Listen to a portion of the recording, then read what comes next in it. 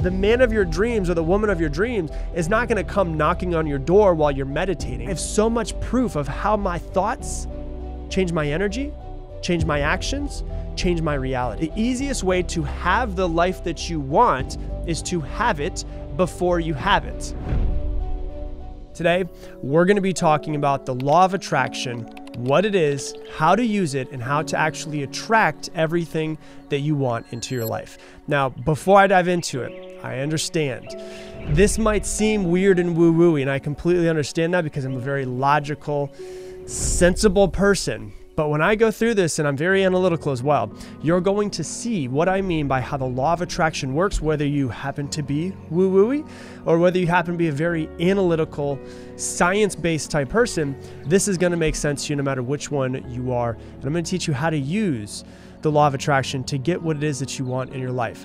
Now, I'll tell you this I've been using it now for about 15 years. And I can tell you this no matter what your stance is on the law of attraction, it works if you take notes on this, if you use it, I'm going to teach you how it works, how to use it in your life, and how to get what you want in life as well.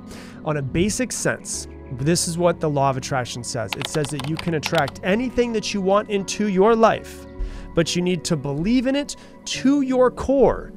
And if you believe in it to your core, every single cell in your body, then you will get whatever that thing is. But that's the secret to it.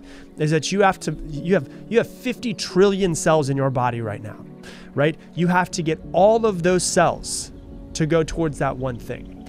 And the way that you control your 50 trillion cells is through the central voice, your thoughts. And that's what we're going to go into. I'm going to go much more in depth, but basically, you will attract into your life what you think about the most. That's the easiest way to think of the law of attraction, but we're going to go much more in depth than just that alone. Now, you may have seen the movie The Secret. The Secret is on the law of attraction. I think it's a great movie, it's a great book, but I think it leaves a lot out. The way that The Secret seems to be for me is I'm going to sit down, I'm going to figure out what it is that I want, I'm going to sit there I'm going to think about it all day long, and it's just going to, the universe is just going to bring it into my life. And I think that that's part of it, but it's missing a lot. And that's what I want to dive into and there's no real explanation of how it works. So it makes it a lot easier to believe in something when you know exactly how it works, because then you go, okay, yeah, I can get behind this idea. You know, you can't just sit there and just meditate the rest of your life and try to meditate a million dollars in your bank account without actually getting up and doing something, right? So it requires you to, yes, the law of attraction, but also it requires action. You got to do something. So we're going to dive into that. And to understand the law of attraction, we must understand our bodies as they are. Our bodies are molecular structures that are vibrating at a massive speed at all points in time. So you can look at my hand, and my hand seems like a solid object, but my hand is not solid. It is actually vibrating. If you were to be able to look at my hand through a microscope, you're able to see all of the trillions of cells in my body, all of them moving at a specific rate, whatever that is.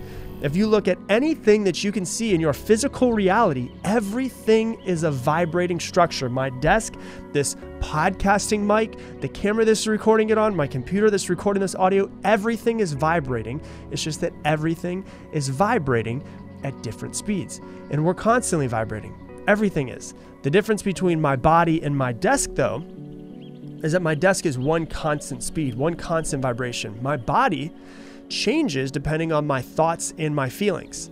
So, you know, I'll give you a perfect example of, of, of how this is going to make sense to you.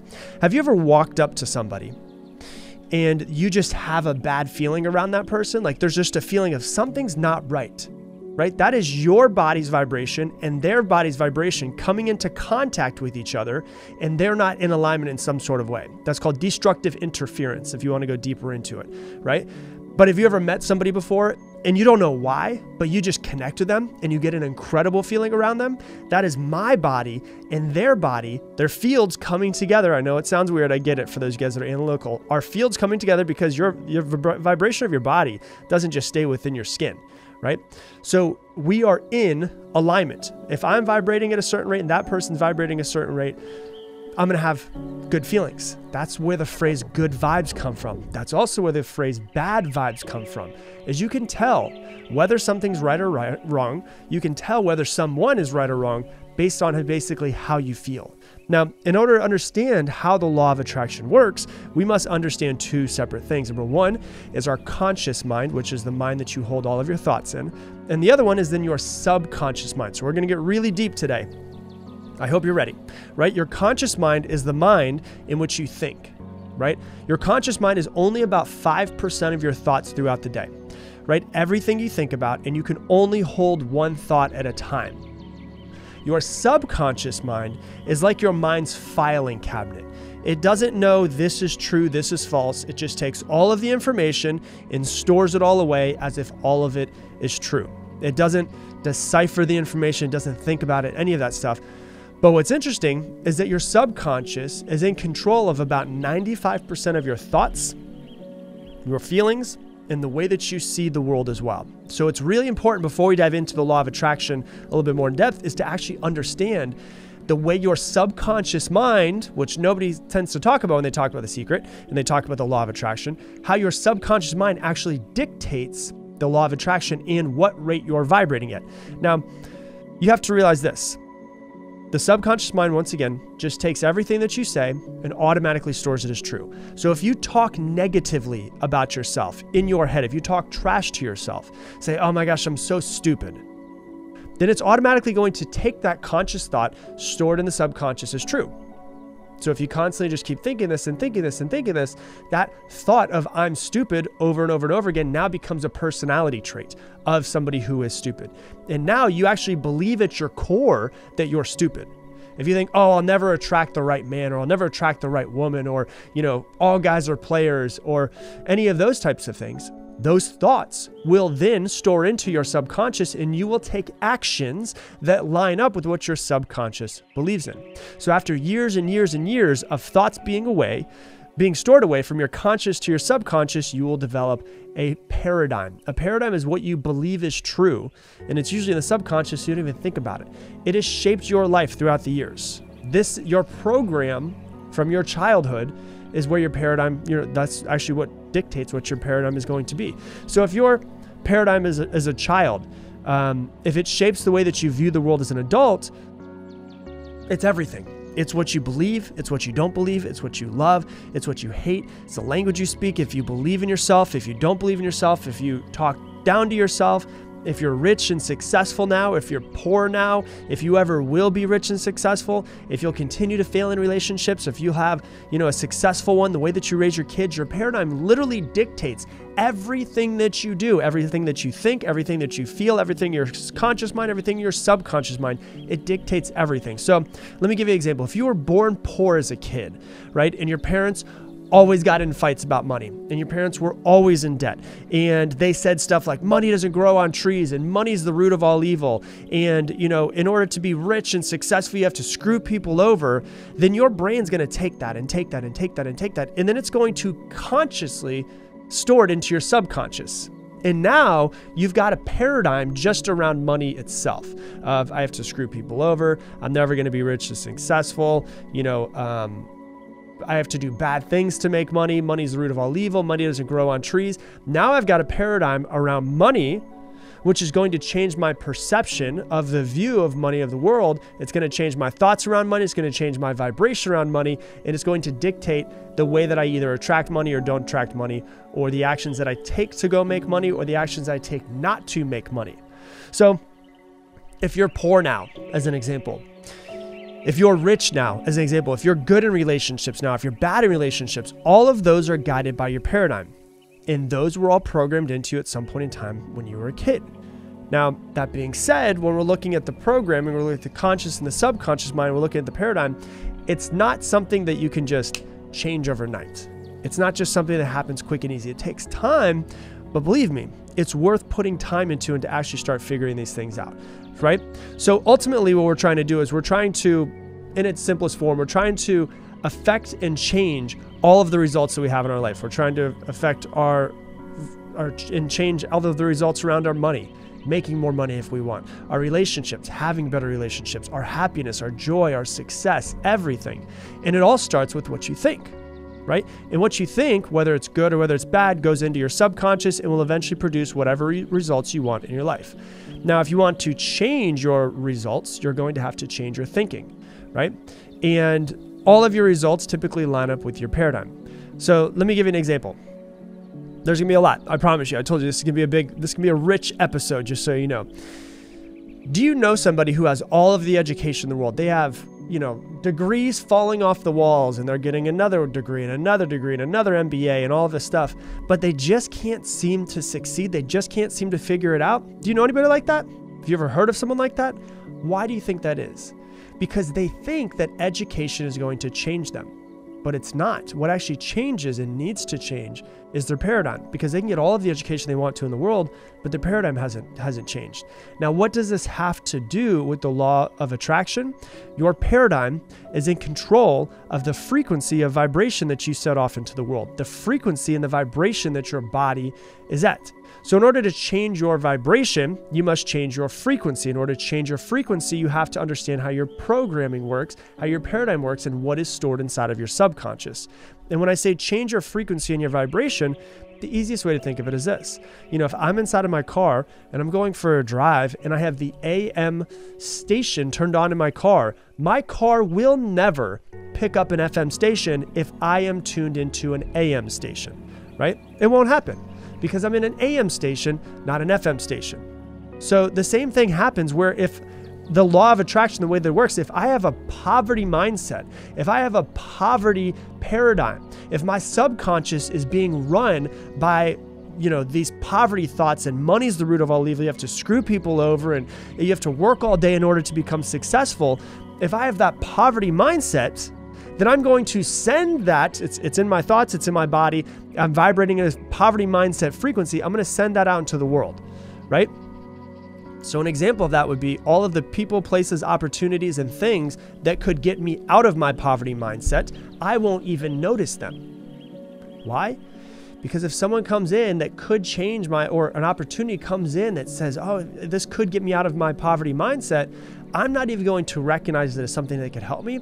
I'm automatically going to push it away the same way that if I meet somebody and I'm not vibrating at the same frequency as them, I'm gonna get bad vibes. So, for instance, I might have a poverty mindset, and the best freaking investment opportunity or the best business idea can come into my awareness, can come into my field, can come into my, you know, I can literally be sitting there and talking to somebody who's got the best business investment that can make me millions of dollars. If I'm vibrating at, a, at a negative, you know, poverty mindset, I'm not even going to take that thing as an option. I'm going to be like, no, this isn't right. It doesn't feel right, which is usually how you can tell. You know, the frequency, it doesn't feel right. Why? Because I'm vibrating in poverty. If abundance in, in wealth comes into my life and starts to vibrate, I'm not going to be in line with it. There's going to be a part of my body that says, no, Rob, don't do this, don't do this, don't do this. Therefore, I will reject that person. I will reject the opportunity. I will reject everything around me that could get me into my abundance, that could get me into my wealth because I am at a poverty mindset. Make sense? If I'm vibrating at that frequency of poverty, then anything that's not lined up with that poverty, I'm going to reject. It's crazy, isn't it? You know, so what happens is we have to get ourselves on a quote unquote money making frequency. We have to realize that our programming of money's the root of all evil and, you know, you have to screw people over, whatever it is that is your, your, your frequency, the station that you're turned into, the same way that if I'm on an AM station, I won't be able to pick up an FM station. If I'm on a poverty frequency, I'm not going to be able to pick up an abundance frequency or a wealth frequency. It's simple. It makes a whole lot of sense, doesn't it? Remember, the difference between myself and my desk is that we're both vibrating, but I can change my, my vibration. I can change my frequency. I can change the station that I'm turned into right? So you will attract whatever vibration or station that you're turned into, and you can only listen to that one station. So if I'm on a poverty mindset, I won't be able to poverty station, won't be able to get the abundance and you know, abundance and, and wealth frequency if I'm on the scarcity one. Let's go to another one. If you've been screwed over, maybe your maybe your parents divorced when you were younger and your mom talked about how all men screw you over and men are cheaters and don't trust men or you heard her maybe she even say it directly to you. Maybe you overheard her talking to friends about it, right? And then you grow up and you get into a relationship and maybe you get cheated on, you're like, "Oh my god, my mom was right." You start to actually think so many times over and over and over and over and over again. Men are cheaters, men will screw you over, you can't trust men. You know, this is just an example. It could go the other way for men to women, women to men. And you keep repeating that thing over and over and over inside of your head. What's going to happen is you're eventually going to to create a paradigm around that. You're going to go from your take it from your conscious thoughts store it into your subconscious mind which is going to change the frequency that you're vibrating at. And that's why so many people are like i don't know why i keep dating men that are broken. I don't know why i keep dating men that are assholes. I don't know why i keep finding people who are screwing me over who cheat on me all of this stuff. Is because we tend to attract into our life whatever it is that is going to line up with what we believe is true in our conscious mind, in our subconscious mind, in our paradigm, we are going to attract those things into our life. So if we, even if we consciously, even if you're a woman out there or even a man out there that just wants uh, a really good man, you're still going to attract the ones that are not good for you if you're always vibrating at the frequency of men will screw you over. Same way for men, for women, for all of this stuff. You know, you can switch out all of the genders and any way that you want to. It just makes sense though, doesn't it? So, the same example, if I'm a, a woman who wants a really good man, but I've been screwed over and my mom said things when I was younger, when a really good man comes into my life, I won't even vibe with them or be attracted to them in any sort of way because they don't line up with the reality of the way that I see the world. I'm only going to be attracted to the people who reinforce my paradigm of the way that I see the world. So that's why, you know, someone comes in, they could be really good for them, and you're like, why don't you see your friend maybe? And you're just like, why doesn't she like him? Like he's perfect for her. Why? Because he, as a really good man, doesn't reinforce her belief paradigm consciously and subconsciously of the world of men are assholes, men screw you over, men are cheaters. Why does she always end up with those types of people? Because that's what she believes at a, in a, a, a thought and at a cellular level that men actually are. This is what meditation's for. This is what going out and actually becoming aware of these things is for, is so you can start to reprogram yourself. You realize, what station am I tuned into? What station are you tuned into? In your relationships, in your wealth, in your business, in your life, in your thinking about yourself, what station are you tuned into? Because whatever station, if I'm tuned into 98.7 FM, I'm only going to get 98.7 FM. I'm not going to get 710 AM if I'm tuned into 98.7 FM. So I've got to pay attention to, man, what do I actually consciously and subconsciously think is true about money, about business, about relationships, about wealth, about happiness, about abundance, about scarcity, all of these things, because that's going to dictate where my body is vibrating at. And if something vibes with me, which is usually going to, you know, that's called uh, constructive interference versus destructive interference, then I'm going to actually understand that I'm only noticing and attracting things into my life that line up with the way that I actually truthfully, deep down at a cellular level, believe the, world, the way that the world is. So that's why you can consciously want success, but then you're not taking any action. That's why you can consciously want to have the best relationship, but you're screwing them all up or finding the wrong person. That's why you can consciously want to have a successful business, but you're freaking sleeping in and you're bringing the wrong business partners in. And all of these things are happening is because you have to become aware not only just of your conscious thoughts, but of your subconscious thoughts and your paradigm around all of that because that's 95% of what you think about. And it doesn't happen overnight. Like I can't just go, "Oh my gosh, you know what? I'm going to change my frequency and I'm just a different person." You know, you can try to work on it every single day, but you have to realize you have to literally brainwash yourself into believing that. That's why I have an episode, you know, that's you know, brainwash your uh, your way to success, or you have to brainwash yourself to change your paradigm, and that's brainwash yourself to be successful. That episode that I did talks about how you have to spend every single moment, every downtime, brainwashing yourself with what it is that you actually truly want to do in this world. So if you don't see results right away, it's not a big deal. It doesn't mean it's not going to happen. Just realize it takes time for you to reprogram yourself. If you're 35 years old, you've got 35 years of programming. It might take more than a couple weeks to start to switch your programming, start to switch your paradigm. And remember that we're all programmed from a young age. So our our our job now as adults is to go back, look at what our, par- our paradigm is, look at what our programming was from a young age, ask ourselves, does that line up with the future that I want for myself? And if it doesn't, then I need to consciously change it and also subconsciously change it because my it starts with my thoughts, which is my conscious mind. They're stored into my subconscious mind. That changes my vibration, which then changes what I attract in my life. That's why if I have a poverty mindset once again and a great business opportunity opportunity comes into my awareness comes into my life i will be like no it just doesn't feel right. It, it's not that it doesn't feel right because it's not right for you. It doesn't feel right because it's actually not vibrationally matching where you are. It's too freaking abundant for you for where you are right now.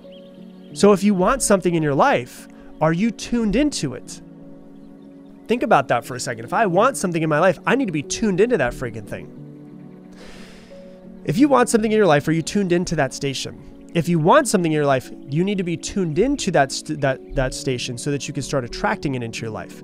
You know, the one thing that I don't like about the secret is that it acts like, you know what? I, if I want to have the best relationship in the world and attract the best man or the best woman into my life, I need to sit there and I need to meditate it into my life and meditate and meditate and meditate. And eventually that man will just show up at my door. No, you have to literally after working on yourself, after working on the programming, after diving into what your paradigm is, you have to get off your ass and actually take action.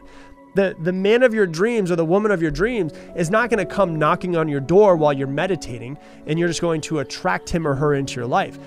The missing piece a lot of times is that you have to actually get up and take action. Okay, I'm going to program my thoughts, my feelings, which is my head, my heart, my body, to go and find this person that I want, or to find that wealth that I want, or find whatever it is that I want.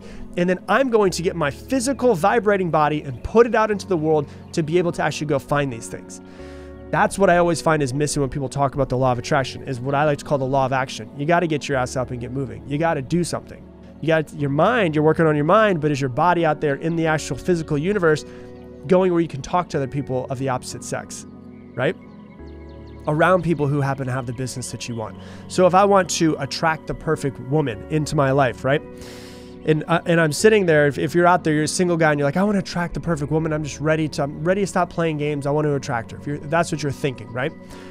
You can meditate on her all day long, but she's not going to come knocking at your door. So you got to meditate, meditate. You know, get the vibration. How do you feel about it? Are you starting to actually feel that maybe a real relationship is something that you're you're gonna settle into like is your body at that vibrational frequency and, and it sounds weird i understand the vibrational frequency and all that stuff but you can ask yourself do i feel ready to attract the right person do i feel ready to bring in the right person into my life and you can feel in your body the relaxed state that it can get into then your physical body, you've actually got to leave your house, right? You've got to leave your house and go to places where you think that person might be.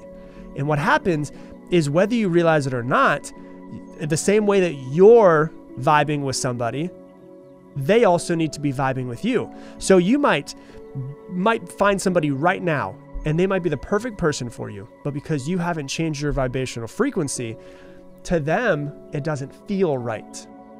So if you work on yourself, that's why they always say if you want to if you want to find the perfect person, become that perfect person first because then you're going to match them vibrationally and then it's going to be good vibes between the two of you constructive interference versus destructive interference, aka bad vibes. So you can't just meditate that person into your life, right? Same way that if you want to have a million dollars in your bank account, you need to program and consciously think about this money that you want to make. And you've got to consciously brainwash yourself into believing that this is actually true. But then you've also got to get out and go make the money the money's not just going to show up and you're not going to just you know ding dong FedEx is here at your bank you know is at your is at your front door and they just drop a million dollars in cash. No, you've got to physically and mentally work on yourself so that your vibration is at the right frequency so that therefore you go out and when the right opportunity or person or place or thing comes into your life you go that's it right there that's the thing that i was working for it and it might not you might not think it's right but it actually feels right the reason why it feels right is because your vibration is lining up with that vibration. So when they say attract things into your life with the law of attraction, this is what it's talking about. What you think about will be stored into your subconscious. Your subconscious will change your vibration. That vibration is at a certain frequency, and you will only line up and get things that line up with that, you know, only get things that line up with that, that frequency. If you think you're going to be poor your whole life, you're going to be poor your whole life. If you think you're going to be wealthy to, at a cellular level, deep down, you'll eventually be wealthy. It's going to come to you. If you think that people are always there to screw you over and that men are the are going to screw you over and cheat on you, then you're going to find a lot of those people because those people line up with the reality, line up with the frequency that you're vibrating at. You're going to find only those people. But if you switch it around and you truly believe that the right person for you is out there, as long as you get yourself out there, that person is going to find you. You're going to find them. And when you do find, you're going to match vibrationally which is how the law of attraction works. So I've done past lessons talking about the law of attraction, but now we're going to talk about how to actually use that in your life. And one of the things that comes down to immediately, and I want to start off before we go any further, is to tell you this. If you want to attract quote unquote the life you want, if you want to manifest the life you want, or if you just want to create the life that you truly want, the first thing that you need to start doing is to stop focusing on what you don't want. So, I'm going to take a take a pause and I'm going to ask you a question before you go any further. When you were if you were to take yourself out of your own head and look at everything that you think throughout the course of a day, between your 60 to 80,000 thoughts that you have every single day, which is about average for a human, are you focusing and thinking more about what you want? Or are you focusing about more of what you don't want, what you fear, what you're worried about? Because what you focus on, you will get more of. Uh, the reason why I'm doing this episode is because my girlfriend Lauren and I, we were driving about three nights ago. We were driving back from dinner and we were just talking about life and about how I feel like basically all of my dreams have come true. Like I don't really have a whole lot of goals because I'm like, damn, I kind of checked them all off the list, which is awesome. But I feel like I am the creator of my reality. Like I feel like I created this life. Now, obviously, I had people that helped me. I had mentors along the way. No man is an island, but I feel like I created this as if I was a painter that walked up to a blank canvas and just wrote down exactly what I want and I drew out this perfect life and I created it. And one joke that my mom and I have had for a really long time since I got started getting into personal development about 15 years ago, since I got into the law of attraction and trying to manifest things, is that I tell my mom, and I've told her because she's always like, How do you always? She's like, You always get what you want. And I'm like, Most of the time, I do get what I want. And the reason why, and here's a secret this is what I told my girlfriend the other day, is the opposite of what I want. So, first off, actually, before I say that, I know exactly what I want. I'm very clear on exactly what I want. I'm very clear on the the life I've wanted to create, the lifestyle I've wanted to create, the traveling that I've wanted to do, the money that I want to make, the person that I want to attract into my life, the people that I want to be surrounded by. I'm very very clear on all of those. The reason why I happen to get those things in my life is because the opposite of what I want doesn't even exist in my reality in my head, I never go to fear that I won't get what I want, worry that something could come up in the way, worry about other people's opinions. The opposite of what I want doesn't even exist in my reality. So why do I get the life that I why do I have the life that I've created?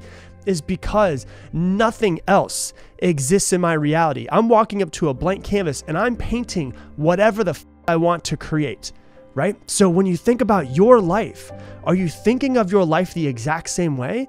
Or are you thinking about the things that you don't want? Are you focusing on worry and fear and sadness and all of the negative emotions? Right? So I can give you many examples in my life. First off, since I'm already talking about my girlfriend, my girlfriend didn't want to date me when she first met me. She didn't want a boyfriend at all. She just got out of a relationship a couple months before. And I was like, hey, that's great and all, but I think I'm pretty good. I think you're pretty good. I think we'd be a good match. And eventually she was like, oh, I do like this guy. Right. So she was like, yeah, she tells the story all the time. I didn't, I wasn't, I wasn't in the mood. I didn't want to date people. I was just kind of having a great time by myself. But I was like, I really like this girl. I'm really attracted to her. I think that we fit really well. And now we've been together for years. And, you know, because I just feel like that's what I wanted. And in turn, she was like, "Oh, I'm starting to see who this guy truly is." Right? So the first thing I can think of is is with Lauren. When I was younger, way before that, I used to sell knives. I worked for a company called Cutco, and I was had never been in sales before, but all I wanted to do was be the the very best sales rep that I possibly could be. So I was like, "You know what? I'm going to be number 1 in the office. There is no other option. I, I will not be anything other than that." right? And so I built up some confidence. I built some confidence and eventually became number one in the, the office that I was in in Tampa. Then I became a manager with the company. I was like, I will not lose to anybody else because I feel like I am the best that exists. I'm out there. And I, it was just this, this inward belief. It's never a cockiness or anything like that. It's just this, this confidence, this inward belief that I know who I am. I know what I deserve and I know what I can do and my capabilities. So I'm going to go and I'm going to create it. So then I built my office, number one office, United States, right? Then I left there because I was like, I feel like I've done everything that I can. And then I decided to, you know, go into the corporations that I went into, and I was the youngest sales rep in those companies, but still also became the number one sales rep in those companies. I decided to start a podcast, became, you know, the the top motivational podcast in all of iTunes. We're going to do about 50 million downloads in the next year, and uh, and then I decided to start a Facebook page and have my videos start to go viral. So I put time into figuring all of those things out. You know, we're about 1.5 billion views on Facebook, and I don't say these things to brag in any sort of way. I just say them because number one, I know what I want. Number two, the opposite of what I want, failure, doesn't exist in my mind. It doesn't exist in my reality. And if it doesn't exist in my reality and I am the creator of my reality, then there's absolutely no way that I will fail. So that's number two. And then number three, I just don't give up. I don't I don't I, I, I don't see anything as failure unless you give up. And so I just decide slow and steady wins the race. Life is a marathon, business is a marathon, everything's a marathon. I'm going to put every ounce of energy that I have into whatever this thing is that I want, and I'm not going to do anything else until I succeed at it, right? So I don't say any of these things to brag. I just say it because this is my perspective, what the past 15 years have been for me, and how I've created what I have. And it comes down to what I tend to focus on right? And I say this a lot to, I teach coaches how to impact the world and how to make money and how to grow their coaching businesses. And one thing that I always say to them is don't focus on this not working out. Like if you're trying to build this coaching business, not working out should not exist in your reality right? Because if it does, and you're focusing on uh, what if this doesn't work out? What if I can't pay my bills? What if this person says no to me? What if one of my clients cancels? You're probably going to create that in your reality. But if you step up and you say, This will be the business that makes me the dreams, the dream life that I want. I'm going to impact the world. I'm going to do this and this and this. And that's the only other option that exists for them, then that's what they're going to create right? So I want to pause and take a step back. And when you hear me talk about these things, the first thing I want to say is I haven't always been this confident in my capabilities. This is 15 years of working on myself and actually seeing how this works and understanding the law of attraction, understanding manifestation, understanding even if the law of attraction manifestation are not things that you focus on or they're not in reality, or they sound too woo wooey for you. I think that I'm a creator and I'm creating my reality at every single moment with every single thought and with every single action.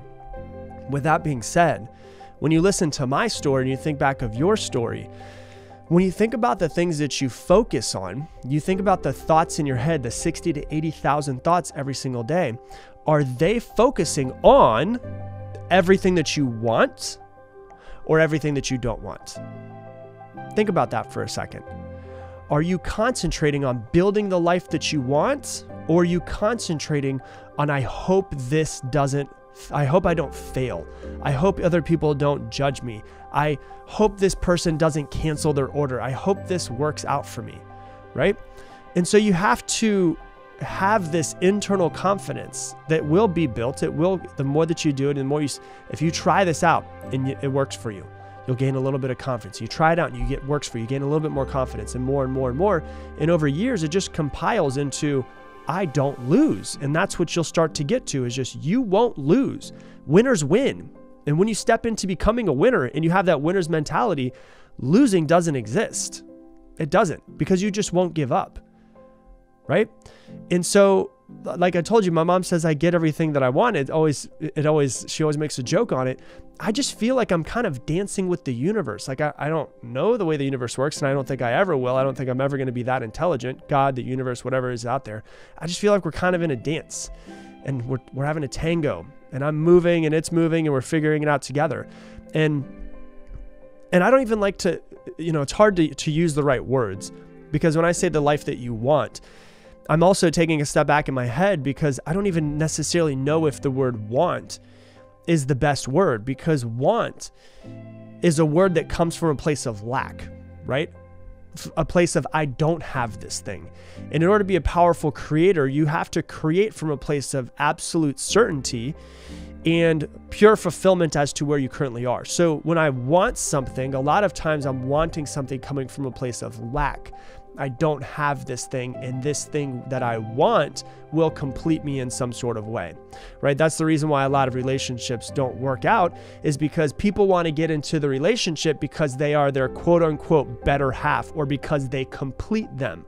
No, it's not, you know, this person completes me. It is that you are already a complete person, they are already a complete person, and the two of you together make a really freaking powerful couple right? It's not like I'm I'm incomplete without this person, that person's incomplete without me. We're we're, you know, two halves. No, it's like you're whole, they're whole, and you're creating something amazing. So I hesitate saying that this is a life that you want because I feel like it comes from a place of lack. But I, I'm really running out of words to use here, so we're just gonna have to use those words. But you know it's not even it's not even that you want it. It's that you are absolutely certain that it will happen you know? So how can you brainwash yourself in a sense to being like my future that i want is going to happen. And so when people usually hear about the law of attraction they hear about manifestation they think that they're supposed to go into some you know nirvana state and meditate and they're going to start floating and then that they're going to say oh money is freeing freely flowing into my life from all layers of the universe and the, the perfect lover that i've always wanted my entire life is going to be knocking at my door soon. Like all that stuff's beautiful if that's what you want to do but i just happen to be a very you know analytical logical person and i'm like you know what? Instead of actually sitting there and just meditating on the idea, I'm going to fully embody the idea. There's nothing wrong with the meditating on, I promise you that. I do meditate as well. But it's like I'm with with every action that I take, I am going to be the person that will create this life and I am going to create this reality from absolute certainty. So, I know that for some of you guys this probably is a big step because maybe you haven't gotten amazing results in everything that you've been wanting to do in your life. And so to think, okay, I, and if I look in my past, I don't have a whole lot of examples of massive success from me, right? I've been there before. I understand exactly what you're talking about if that's sitting in the back of your head. But you have to be able to strip away the past and strip away the present, say, hey, none of those things actually matter at all for the future that I'm going to create. And so I've got to, in my head, start from a place of absolute certainty. What do I need to do to start from a place of absolute certainty? Well, I need to strip away the past, I need to strip away the present, I need to say the future is being written at any moment, every moment, everything that I do. I've got to number one, be very clear on what it is that I want. You guys have heard it said in ancient texts the Bible, all of them, they say, ask and it shall be given, right? Well, if you're going to ask for something, if you're going to focus on something, you better be very, very clear on exactly what it is that you want. So, the first part of creating this absolute certainty is to number one, be very clear on what it is that you want because when you're very, very clear on what it is that you want, it makes it easier to go and hit it. You've heard me say it before if I were to take you and the number one archer in the entire world and have you two line up and shoot a bow and arrow at something, some target, they're going to beat you every single time. But if you blindfold them and spin them around so they don't know what direction they're facing, and then you are able to, you know, literally see the target and have nothing over your eyes, you have a better chance of hitting it, not because you're better, simply because you can see the target. So the more clear that you can be on what it is that you want to create in your life, the more likely it is that you're going to be able to create it, right? We are all conscious creators. We are creating at every moment of our lives the exact life that we want, right? You are creating it. If you focus on what you want, you will create more of those things that you want. You will notice the people, places, opportunities, things in front of you that will create that. If you're focusing on what you don't want, you will notice and create the people, places, opportunities, and things that will create the reality of what it is that you don't want right? You've heard me talk about this before. There's a part of your brain called the reticular activating system that is basically the brain's filtering system. At any moment in time, your brain could, if it, it would probably explode if it were to be able to take all this in, take in about 2 trillion bits of information. But it only takes in 200 bits of information per second. So your reticular activating system is the filtering system. And so if you're going into your day and you know what it is that you want, but you're thinking to yourself, yeah, I'm not I'm not good enough. I don't know if I'm going to be able to do this. Then your reality is going to show you all of the places that you are not good enough. Why? Simply because your reticular activating system, the filtering system, is going to find all of the places that you're not good enough. Your brain is basically like cosmic Google. Whatever you ask of it, it will find the answer to. You ever have any friends that have terrible relationship problems and they're like, why do I always find the guys that cheat? Right? If you ask yourself that question, your brain's gonna go, it's gonna pull up all of the answers as to why you only find the guys that cheat. But if someone were to ask that different question, say, why do I deserve to have somebody who's loyal? Your brain's gonna pull up all the answers. Which one are you focusing on? Uh, on all of the people who are the cheaters and why you find them? Or on why you deserve to have someone that's loyal? right? If you focus on what you don't want, you will get what you don't want because your reticular activating system is focused on those things. If you focus on what you do want, you will get more of what you do want. So if you know exactly what it is that you want, and you set your reticular activating system to go and get it, once again, the people, places, opportunities, things will pop up in your life and show you where you could possibly move forward in the direction that you're looking for. So you have to be very clear of what you're looking for. A, a perfect example of this is I went um, a few years ago. My friend, it was his birthday, and we went on these really fast go karts. They went like 50 miles an hour. And the guy who owned this track here in Austin is an ex F1 driver. He used to actually drive an F1. Super funny, nice French guy, making jokes the whole time as he's explaining everything to us. And then he got really serious at one moment and he said, Listen to me. Looks everybody straight in the eye. He says, If there is a crash, which there will be, and my friends are kind of crazy, so there were a lot of them, he said, Do not look at the crash because you will hit them. You've got to look at where you want to go. And I was like, that makes so much sense. That's exactly how life is. Because if you look at the crash, what you don't want, you will hit the car in front of you. You ever see a car on the side of the road on the interstate and they're not moving, but somehow some cars just end up hitting them, even though they're not moving? Because the person was looking at it. So, what are you looking at? Are you looking at where you want to go? Or are you looking at the crash and where you don't want to go? If you've ever been, you know, if you've ever, anybody who listens rides a motorcycle knows someone who does, they say look through the turn, right? So don't look at where you are when you're in a turn on a motorcycle. You're looking at where you want to go because your body, your brain will position you to get to that spot. So you don't look at where you don't want to go, you only look at where it is that you're trying to go.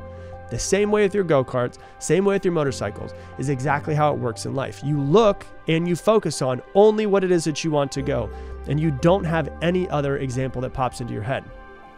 If you're a salesperson out there, the thing that I teach my the the, the coaches that I teach, you know, a lot of people and salespeople say this is, oh, I, I hope this person doesn't say no to me, versus I'm going to have this, this, this person's going to buy for me. So instead of thinking I'm going, this person's going to buy for me, people think, I hope this person doesn't say no. And if you go into it with the energy of, I hope this person doesn't say no, what do you think they're more likely to do? To say no, right? Everything in life is energy. But if you go into it if I if I just think about the energetic state of my body of this person's going to buy, in what type of state that would put my body in and how that would change my physiology, how that would change my voice to I hope this person doesn't say no. Right? Like there's a different energetic state that both of them put me into. This person's definitely going to buy and I'm going to change their life. Or I hope this person doesn't say no and how that energy is going to translate to the other person. They're probably going to say no. Right? You ever you ever walked into a room and started talking to someone and immediately you got mm, yeah, this doesn't feel right. It was bad feelings. We've all been there before, right? And then something happens down the road that shows you, oh yeah, my original feeling about that person, I was right. You ever also had feelings though? You meet somebody and immediately you're like, I feel like I've known this person forever and become great friends. It's the energy. Think about how the thoughts of what I just said change the energy of how you go in to what is it you do. It changes the emotion into it. Emotion is energy in motion. E motion, energy in motion. So if I think thoughts, it's going to change my energy in the way that I feel. It's going to change the way that I act, which is going to change my results in my physical world because everything is energy and you can sense when energy is on, you can sense when energy is off. But the key to it is you have to think about the thoughts that are going through your head at any moment in time, every moment in time. Are the thoughts that are going through my head getting me closer to or further from my goals? Am I focusing on what I want or what I don't want? And you have to literally analyze every single thought that you have. And it'll take some time. It'll take time to get used to. I've been doing this now for 15, 16 years now. But I have so much proof of how my thoughts change my energy, change my actions, change my reality. And so it, what it takes is is ultimate self self-awareness. You've got to think about every single thought that's coming through. You've got to think about every energetic state that you get into. You got to think about every action that you have. And it takes time. It takes a lot of mental energy when you first get into this. But then what happens is you start to change your thoughts. You change your thoughts. You change your thoughts. And now instead of being habitualized to think negative thoughts and to think about what you don't want, you start being habitualized to think positive thoughts and what is it you do want. Because at any moment in time, Every single thought that you have is creating your reality. But you've got to think about this. Are the thoughts that you are having creating the reality that you want? If you change your thoughts, you change your reality, you change your future. Make sure that you know what it is that you want, and then make sure that every thought that you have lines up with that future that you want.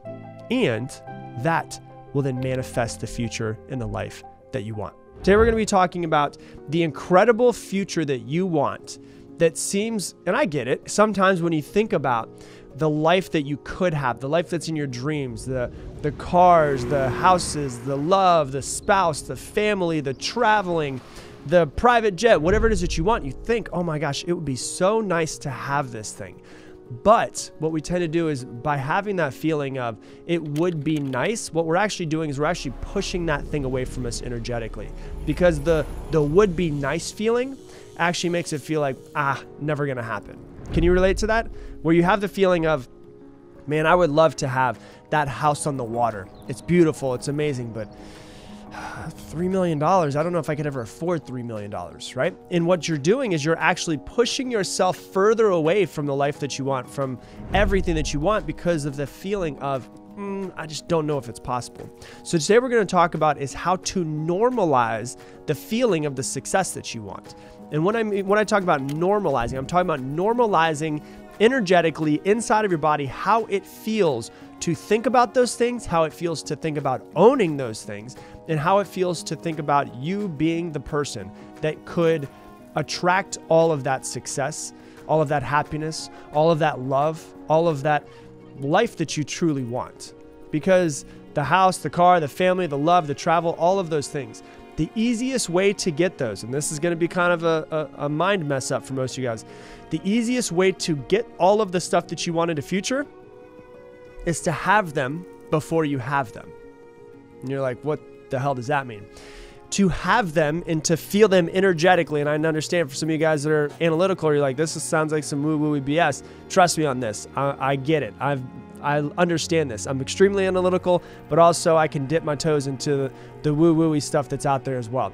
The easiest way to have the life that you want is to have it before you have it, right? So, for those of you that are like, I don't get it, you're to get it. Just follow along with me, okay?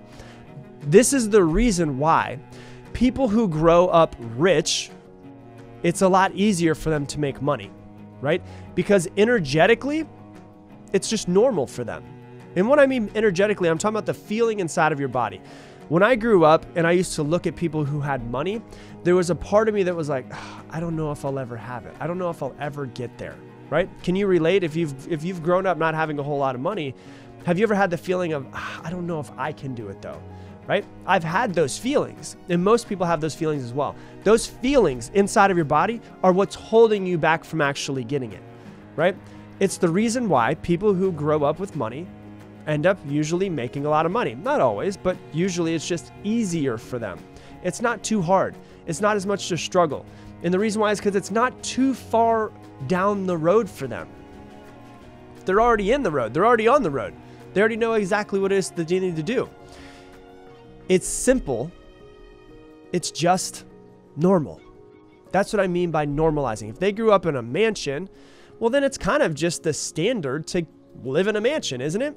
And so when they see other mansions, they're not like, oh my God, look at those mansions. They're amazing. It's just like, oh, yeah, well, yeah, we have one as well. It's normal. It doesn't feel like it's too far away. But this is also the reason why it's so hard to break free from where you currently are, is because where you are feels normal. And the no- more normal that you feel, the more uncomfortable it can feel to look at those things that seem so far out of your grasp. They don't seem like th- something that you could ever get, right? And so you have to normalize the feeling. And I'll teach you how to do that today. And I'll give you an example of, of a, a feeling that is normalized. Have you ever um, gone to a friend's house, maybe? Maybe your friend has a house, you, you become friends with someone who happens to have a, a, an incredible house. And you walk up to their house, and the first time you're in it, you're just blown away. It's beautiful. You love the pool, you love the house, you love the decorating, you love the view, you love everything about it. The first time you're there, you're almost like, holy crap, this is just so incredible. And then you go to their house again and again and again and again and again. And the more that you go to it, it's not like you aren't impressed by the house anymore, but it's just like, oh yeah, I'm just going over to Stacy's house. I'm just going over to John's house. I'm going over to Stacy and John's, right? And you're still like, wow, this house is beautiful, but it doesn't blow you away every single time. It blows you away the first time, and then what happens? It starts to become normal to go to Stacy and John's. That's really what it is, right? When I first moved into the house that I have now, I remember when I first walked in and I saw it, I was like, holy shit, I love this house. It's amazing. I've never lived in a house like this. I've never seen a house like this with this, this design. And I was just blown away by it. And then I realized about a month into being here, I was like, this just feels normal. And I was outside and I was, you know, the dogs were outside going to the bathroom. I looked back and I was like, I love this house, but it feels normal to be here now. Like it doesn't feel like, oh my God, it's amazing. It was just like, ah, it, you know, it's the house I live in, which is awesome right? I love it. But it feels normal. It's a good thing. Normalizing the feeling. So I remember when I was a kid, I was lucky enough where even though I didn't grow up with a lot of money, I was lucky enough, in my opinion, to have an aunt and uncle who my uncle made great money. He had a business that was doing, you know, $20 million a year. And he had a nice house and a nice car. He lived in a gated community that was on the water on the, the, the beach in Florida, Siesta Key, Florida, which is super nice beach and um, and it's the nicest community, the nicest gated community that's on Siesta Key Beach. And you know, you would go into the gated community, and he used to have a golf cart, and my cousin and I would drive the golf cart around. And I remember being a kid, consciously 13, 14 years old, 15 years old, whatever it is that we were, you know, younger. So we were driving the golf cart and we would go and look at these houses. And I was like, these houses are amazing. These, I'm to, and I would tell myself all the time when I was a kid, I'm to live in a house like this one day. I'm to live in a house like this one day. I'm to live in a house like this one day. And I would just drive around and I didn't realize. I had no idea what the hell I was doing. But what I was doing is I was starting to normalize the feeling of being around houses that were massive. I was in houses that were on the beach with beautiful views and Ferraris and Lamborghinis outside. I was just, I was normalizing that feeling, right? So I was lucky enough to be around people like that. I was also lucky enough to see that my uncle is one of the kindest people I've ever met. And so sometimes it, when you're when you don't grow up with money and you don't see a whole lot of money, you can see how sometimes people with money can be demonized in the media and people can talk trash about them. But I've said it many times in my podcast. Some of the kindest, best people I've ever met in my entire life have boatloads of money and they're kind and they're amazing and they're beautiful people. And that makes you realize, oh, they're not as bad as they tend to seem in the media sometimes, right? So I was lucky enough to be around people like that. And so I think that for me, the transition from not making much money to making a good amount of money was easier because I was around it and I was normalizing myself for years. Now, if you haven't been around somebody with money or any of that type of stuff, it doesn't mean that you can't normalize the feeling. I won't even lie to you. When I first moved to Austin, I used to uh, there's there's a couple areas in Austin that are gated and I just love driving around and looking at houses. And I love, I've always thought to myself, I want to normalize the feeling of being in houses like this and being in neighborhoods like this. And so, what I would do is no joke, if I saw a neighborhood that I really liked, I would park across the street and just wait for someone to drive in and I would just follow them in. Why? Because I want, I love to be able to dream right? I love to be able to think that this could be mine. Not because I just want to own more but because I want to see what it would take from me to become the type of person to get something like that. Right? Think about that for a second. What would it take for me to be the person to be able to get that thing, that house or that, you know, car? You know, I was in a, a place the other day that I followed somebody in and they had a, a, helicopter outside of their house. And I was like, that's pretty sick. I've never just seen someone's helicopter sitting outside. I thought it was amazing. So there's there's examples of things like this. Uh, a good friend of mine tells this amazing story of how he he normalized the house that he wanted. So he knew what part of town he wanted to live in, and this is in Austin. And he lives out in the hills now. And uh, there was this big, beautiful house that was being built, and he was driving by it one day. This big, beautiful, modern house, and it wasn't finished. And you know, big houses take time to to finish, right? They take years sometimes to finish. And he saw this big, beautiful house and he, he was like, I'm gonna pull over and just see what the house looks like. And it was in the middle of construction. There was nobody there. It was like on the weekend or something like that, or at night. And um, and so literally he walked into the house and he's like, holy crap! Like I can see it's got a pool. I can see it start to see the layout of the house. I can see the view of downtown Austin through the hills. And so what he did was every day, and this is important, every day, he would literally leave work he has his own business, but he would leave work and he would tell himself, I'm driving home, I'm driving home, I'm driving home, I'm driving home. Every single day. He would drive to that house first and he would get out, park his car in the driveway. You know, he'd get done with work six, seven o'clock. So usually the guys aren't doing construction by that time. And he would literally walk into the house walk into the front door and say, I'm walking into the front door of my house. He would walk in and he would literally start to go through the house and say, This is my bedroom. This is my. And, you know, some of you guys are like, That's kind of creepy. The guy's walking through a house that's not his. Nah, it can be creepy, whatever, but, you know, no judgment and then he would go to the view and he would he would visualize himself sitting there and drinking his cup of coffee every single morning. I'm gonna drink my coffee this view, drink this coffee this view, and he would normalize it day in, day out, day in, day out, day in, day out, and it became normal. The feeling of the house went from holy crap this view, holy crap this house, holy crap this layout to this is my house. I just haven't I just haven't paid for it yet, right? I'd recommend you don't do this at anybody who actually lives in a house. This would only be for construction, right? Don't go to someone's house and be like, "This is my house" when you knock on their door. But you know, go. You can go to the house, and you went to the house, and eventually the house is finished, and the people who actually paid for the house moved into the house, and then one day, it went on the market, and he went in to go see how much it was, and it was over a million dollars for the house. And uh, he went in to see if he could afford it. And the bank said he couldn't afford the loan. But he said, This is my house, this is my house, this is my house. And over the next 30 days, he was able to build his business to a such a significant number. He went back into, because you know, this is before Austin's market was just insane like it is now. He went back into the, the loan uh, officer and asked them, show them what his business was doing, and was able to make it work. He bought that house four years after normalize the feeling of that being his house. You could tell me that's a coincidence if you want to, but there's also something behind the scenes that I think is working, right? Whether it's the universe or God, or whether it's just the normalizing of the feeling, or maybe it is coincidence. He was able to normalize the feeling of that being his house, that being the house that he was going to. Now, what does he do? He walks into his house. He parks inside of his driveway. He sleeps in the room he told himself he would sleep in. He has coffee every single morning with the view that he told himself he was going to have coffee with the view in. Why? Because he freaking created his reality. Right? So you got to think to yourself, which reality am I creating? What feelings am I normalizing? Am I normalizing the feelings of being broke because I'm hanging out with broke people all of the time? Right? and they're talking about how you know the it's the government's fault it's the president's fault it's my boss's fault it's the the local authorities fault whatever it is that's going on around them and they're like they're blaming they're taking all of the blame and externally putting on someone else or you hanging out with people who make you know making a decent amount of money normal to you to feel that way right? What car do you want? Why don't you go test drive it? Guess how much it costs to test drive a car? Nothing. So if you have a car and it's on the background of your computer, like when I was younger, I used to have cars in the background of my computer, the background of my phone, all of that stuff. I want to see it, I wanted to normalize it. Why don't you, instead of having it be on a computer, which seems out of reach because you can't physically touch that car through your computer, why don't you go to the Audi dealership or whatever it is and test drive that car?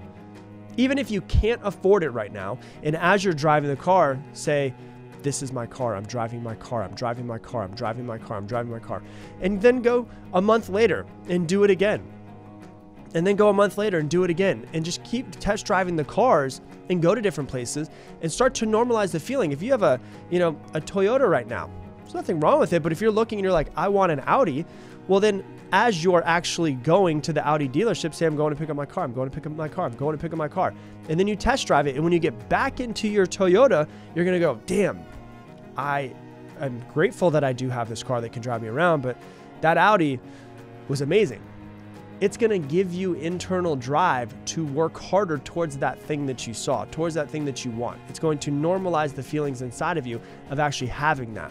What if you want a great relationship? Are there people around you that have incredible relationships? And you know, maybe you grew up in a house that didn't your parents didn't have a great relationship. Maybe they fought a lot. Maybe they got divorced, and all you've ever seen was turmoil in a relationship. Is there someone that you know or people that you can get around that have an incredible relationship so that you can denormalize the feeling of turmoil in a relationship and normalize the feeling of what an abundant, beautiful, loving relationship looks like? If you want to be a great parent, maybe you have your first kid on the way. Do you know anybody that's an incredible parent? That you can normalize the feelings of being an incredible parent? Anything that you want in this world is within reach. But if you look at something and you think to yourself, mm, I don't know, like energetically, it feels too much. To me, it feels like it's impossible.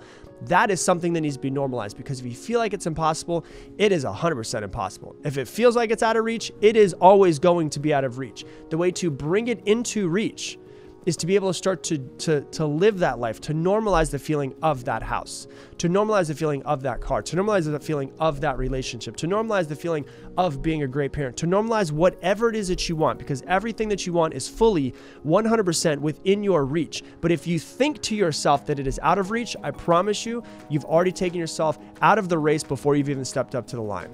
The way to win in life is to figure out what it is that you want and to normalize those feelings because the life that you want is within reach. That 10 years from now, that perfect life, that beautiful family that travels all over the place and has the abundance of money to do whatever they want and to give it away and to give it to charity, all of that is within reach. But you have to normalize the feeling internally first before you actually get it externally. Hey, thanks so much for watching this video. If you want to learn even more about mastering your mind, click right here and watch this video as well. You have no one else to blame except for yourself for how your life is right now. And that's a fact. That is actually a fact.